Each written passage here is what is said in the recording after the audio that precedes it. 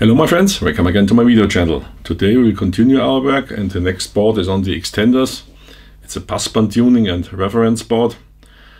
And while we are waiting for the uh, cap or varicap diodes for the repair of the VCO, we can focus on the next topic. We have seen that the passband tuning is not working properly and also the switching with the mode switch between USB, LSB and so on didn't work as it should.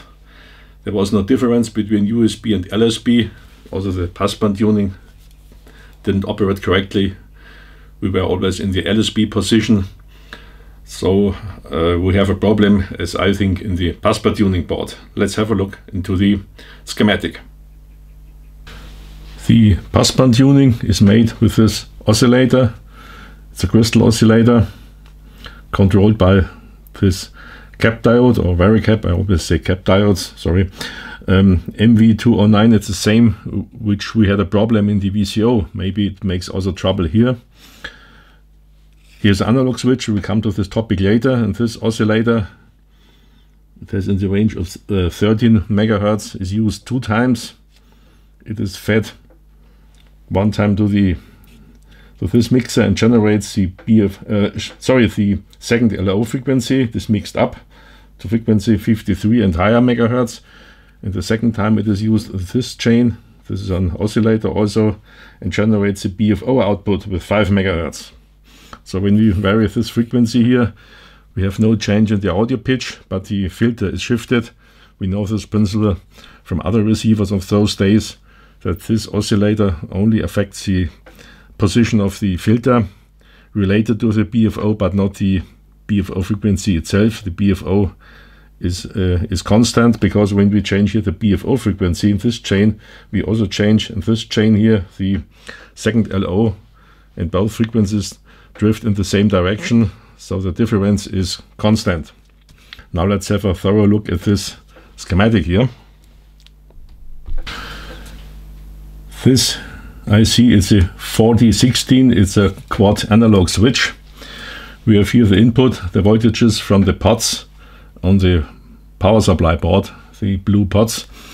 And they set the uh, voltage for USB, LSB, CW and so on.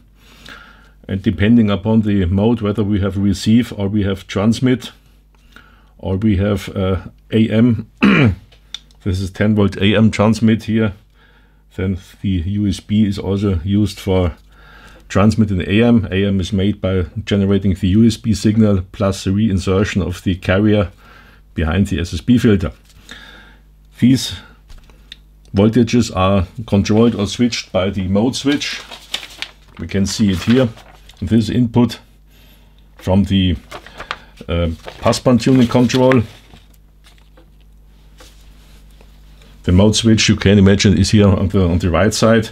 Here we have the power supply with the voltages USB, LSB, CW, RTTY. If I go to the uh, mode switch and come back, and depending upon the position, for example, of the passband tuning switch, whether it's on or off, this wiper goes to the uh, CL, I think it's control line or so for receive. Then we have the passband tuning, and the passband tuning switch is off.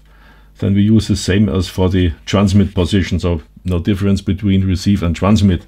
And this is all made in the uh, mode switch and of course using the 10 volt transmit and 10 volt receive for switching. So the first check would be check the operation of this IC. By the way, pin 14 is plus 10 volt and 7 is ground. It's not shown in the schematic, but it's a standard application. The IC is on the, or, or the complete board is on the extender. And this is the quad uh, analog switch, crystal, it's a coil. So we will first check this operation, input and output voltages of this circuit, and then we can see whether we are on the right on the right track or have to rethink about it. We will measure the voltages and the U 1001. First, of course, the 14 volt and the ground, but I think this is okay. The output is pin 3 and 2 there in parallel. With pin 9, I will measure at pin 3. And then the input of the passband tuning pot. I switch to passband tuning on. it's on the front panel. Then we have an input voltage here and this should be the same as pin 3. It should switch through without nearly without any losses in case of receive. 10 volt receive. This switches on, so pin 4 and pin 3 and pin 2 should have the same voltage. We can see it here. This is pin 1. 2 and 3 is connected and pin 4 is the input from the pot. And I will switch it on now.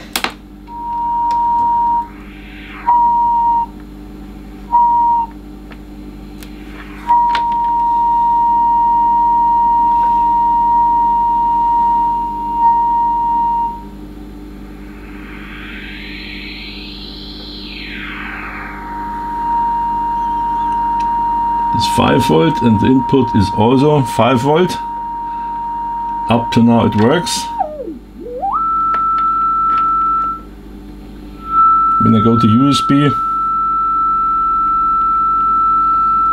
4 volt in output, 4 volt input. So in the moment it is okay. We have to wait a little bit. I'm waiting now for approximately 15 minutes and nothing happened. I'm here in the correct sideband setting, upper sideband, lower sideband no reception. When I increase the frequency, then we are on the lower sideband and upper sideband doesn't receive. When we switch off passband tuning, lower sideband receives.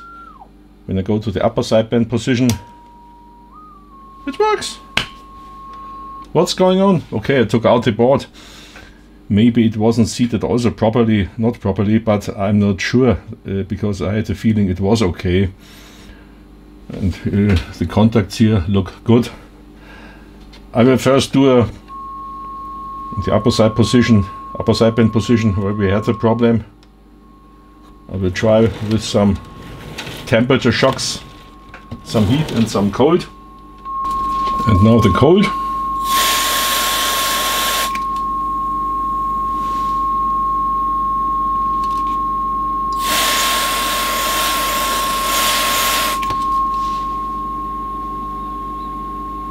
This oscillator, crystal the coil.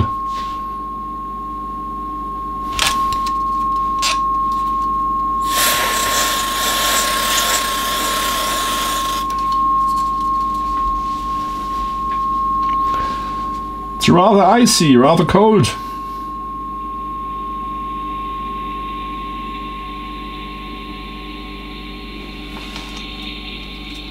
Okay.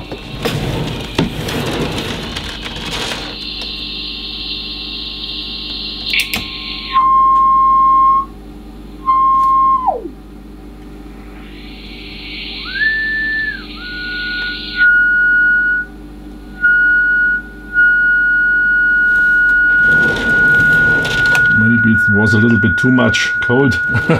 we have another effect.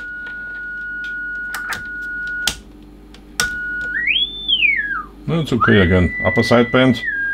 I'll uh, tune up. Lower sideband. Passband tuning.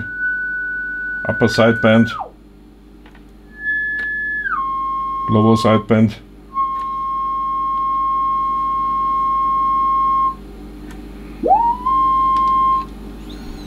It works again.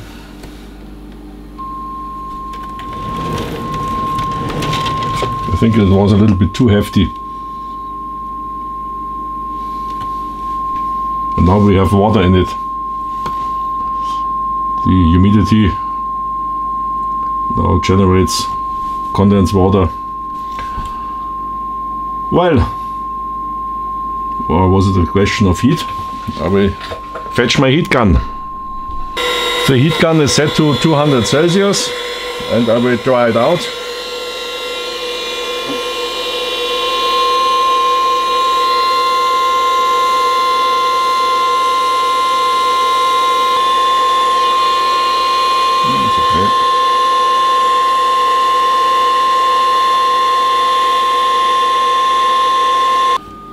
The board is in place again. I solder the pins but there was obviously no problem as I've seen. Also the distance holder, here's a red distance holder to prevent that the board comes too close to the shielding is in place so we have no problem with the distance from the uh, component wiring to the uh, chassis. When I checked it I've seen here we have one problem with this board. There is no distance holder, maybe it is lost and the distance here is very very close. I have to add some it. It's the uh, so-called up converter board I will add here a distance holder, maybe it is lost or so. It's always uh, necessary to have a look at, at, these red distance holders that they are all in place to protect that the board comes too close to the uh, chassis, to the shielding. Okay, but now it works. I don't know what I have to do. I will check also the pins from the lower side, from the main board. I will uh, flip up the whole chassis and look whether these pins are soldered properly on the main board, but I'm sure because when I when I move it around, nothing happens.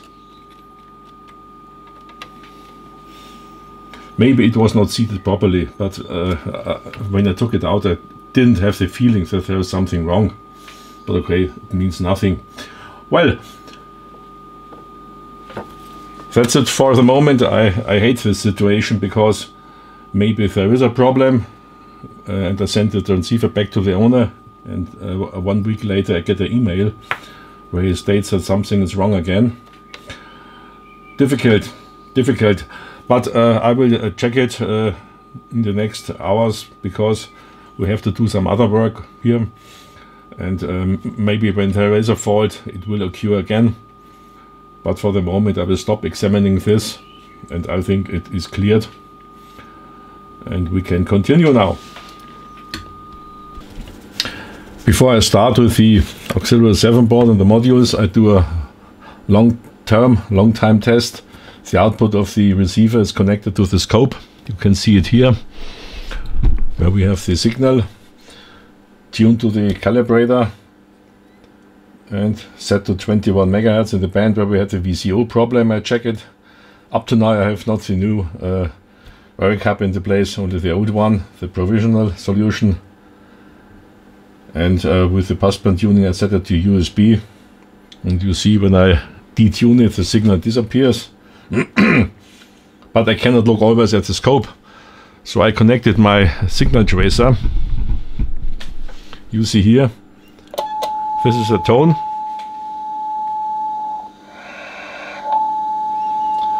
But I go to the test position. A little bit too. Okay. When the signal is strong enough, the uh, signal is not in the speaker. And when the signal drops, for example, I, I simulate it with the passband shift, then I get an alarm. That's a nice feature of this uh, signal tracer. There's a 1 kilohertz generator inside and when the signal drops below a certain level showed on the meter then there's a trigger in it and the uh, 1 kilohertz test position generates a tone. That's a nice feature. Not necessary for me to look always onto the uh, screen of the scope. And now let's start with the Auxiliary 7 board. The Auxiliary 7 board is programmed with diode modules. These are the original diode modules from uh, Drake, or better said from Texas Instruments as I see. There are diodes in it in a configuration like this. And uh, depending upon the bandwidth we want to code, we need diodes in this configuration. Pin 1 is a plus 5 volt. And there are always diodes everywhere. And diodes which are not needed have to be cut off. That's a description here in the in the manual of the AUX 7.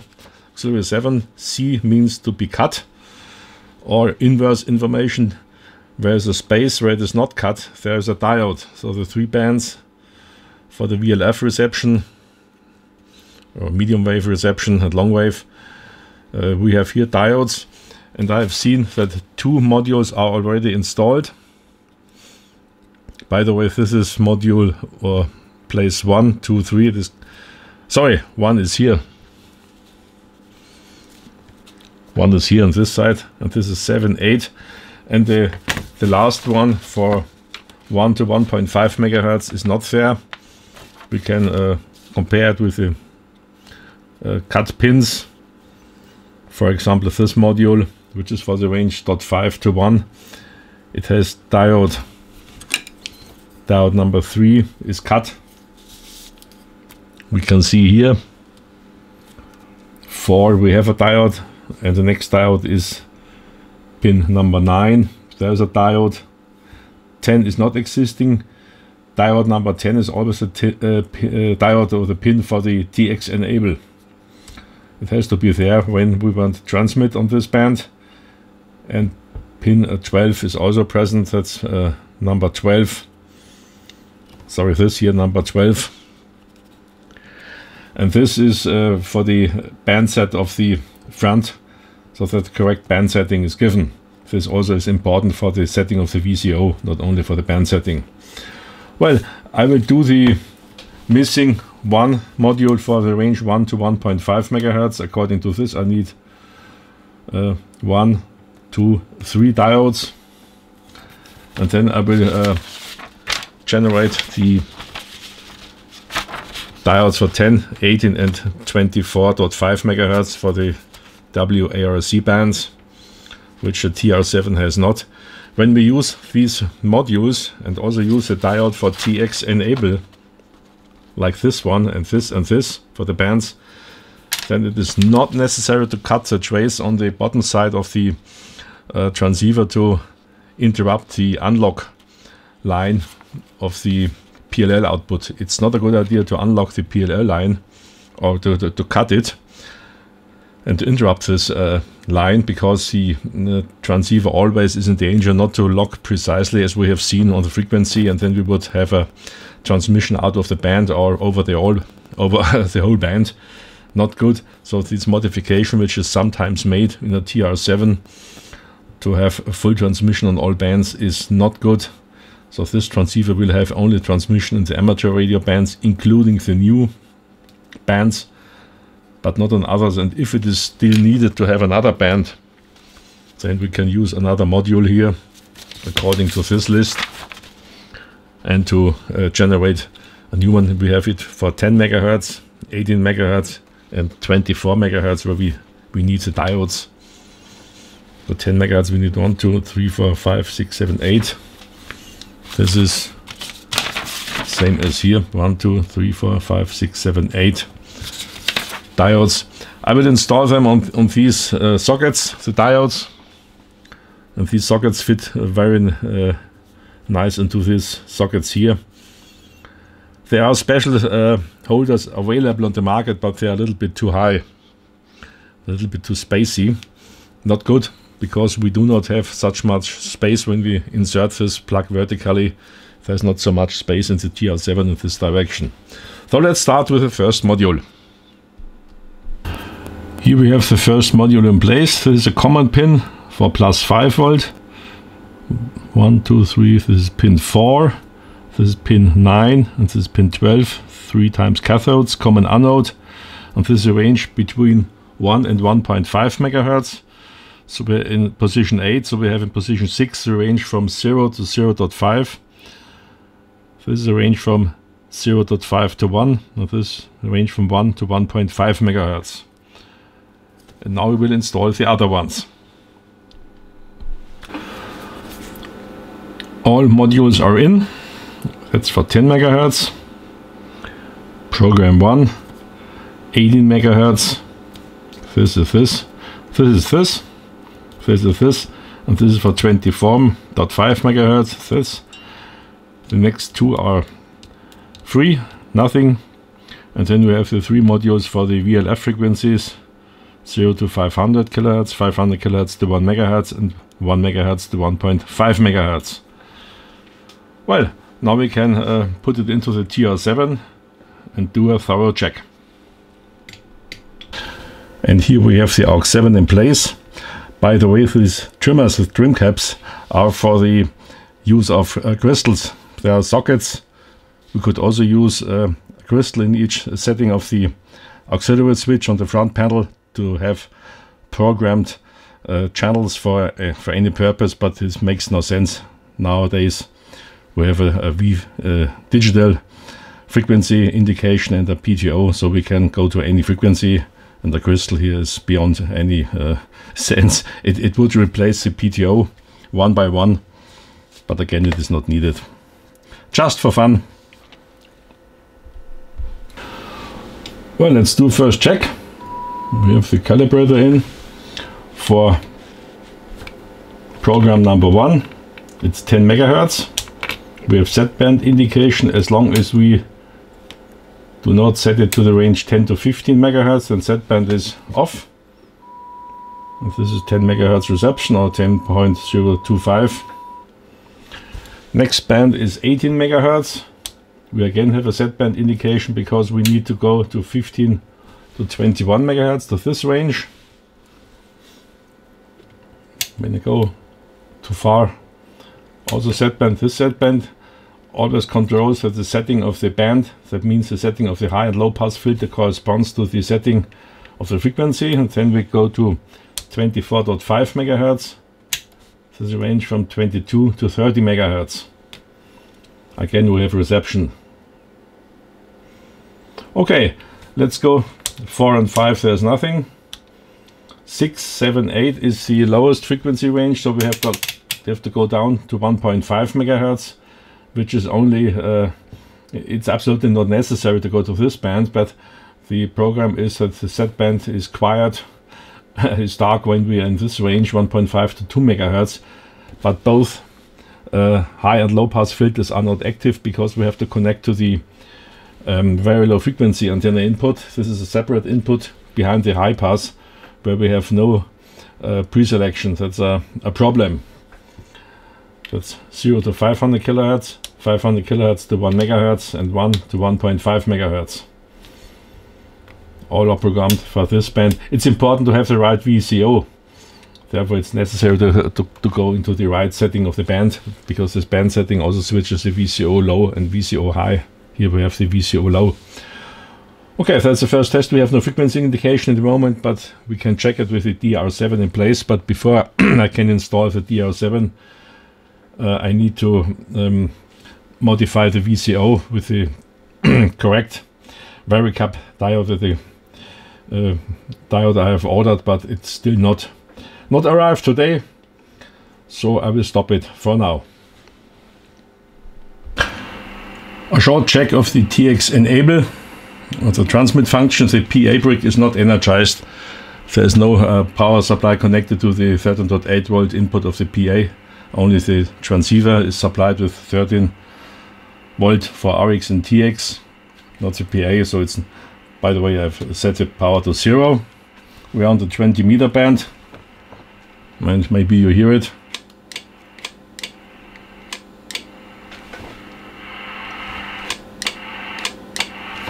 When I go to the first band, 10 megahertz, when I go to the wrong setting of the band and we have set band, Nothing happens when I go to the right band setting, set band disappears. Go to next uh, band, 18 megahertz. Nothing happens when I go to the right one. When I go to the next one, which is also wrong, nothing happens, but it's right for 24.5 megahertz. When I'm here on the wrong setting, also doesn't work. Let's go to the AM bands. Transmit does not work. Transmit does not work.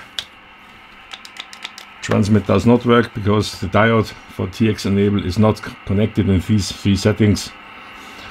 Okay, obviously the diode matrix is okay.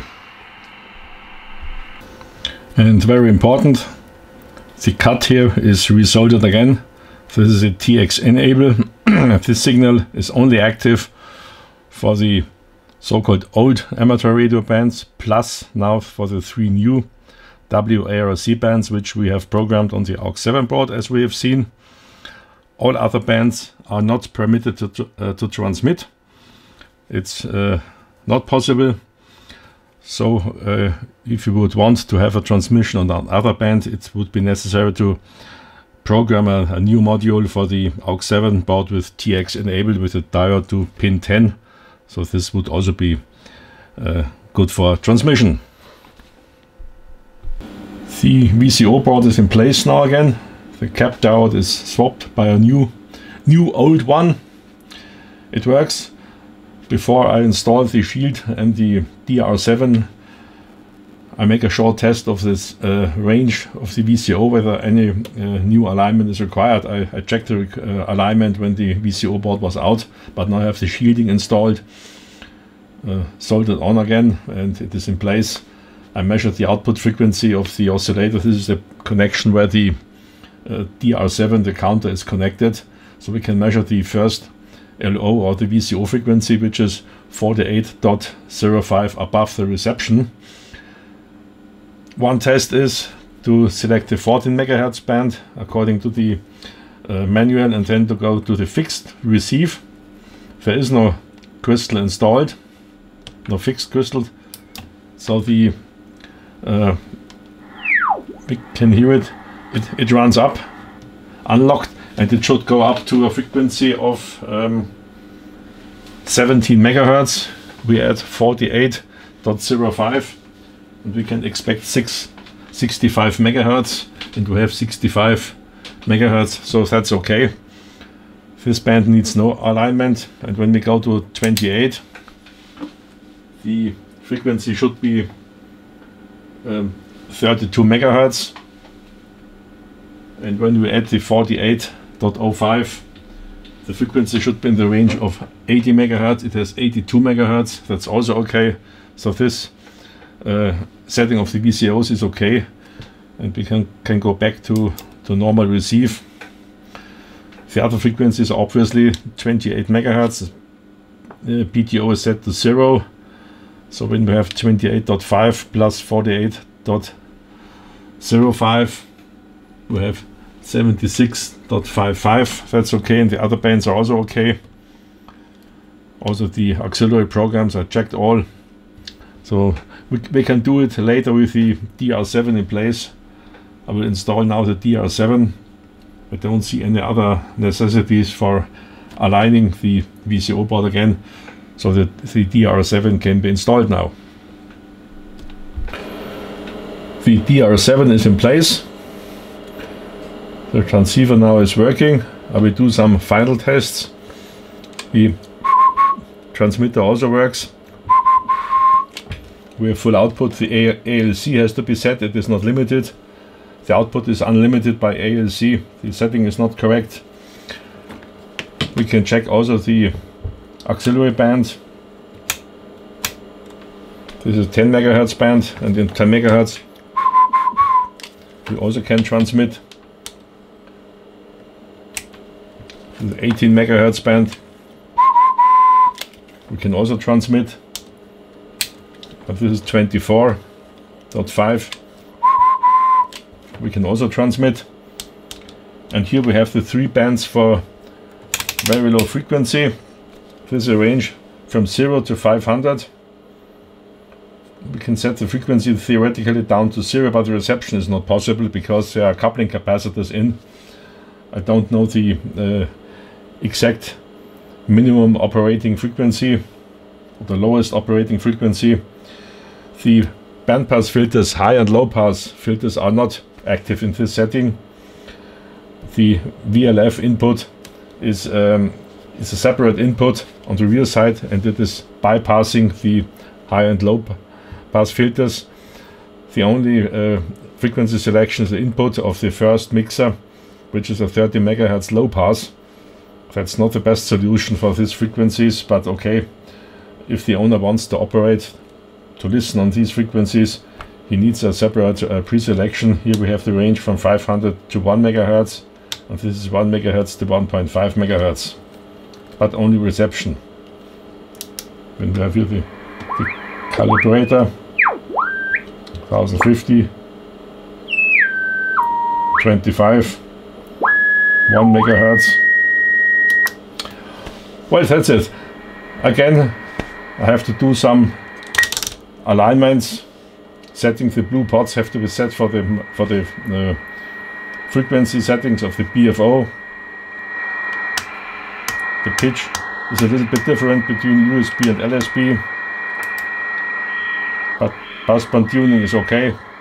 This has also to be aligned for the zero setting and so on and so on. I don't show it in detail in the last video sequence of the last TR7 I've made. You can see a complete full alignment procedure. I don't repeat it here, makes no sense. So I do a, a only a long time test, long term, long time test with it to see how stable it is now. Now we are at the end of this project. As I told you, I will do some final works on it Again, not necessary to show it. And a long time test, many, many hours of operation. I do it with an automatic sequence, receiving and keying and receiving and keying to check also the transmit path, not on the receive path and see what happens. The reason is in the last uh, TR7 project there was a problem.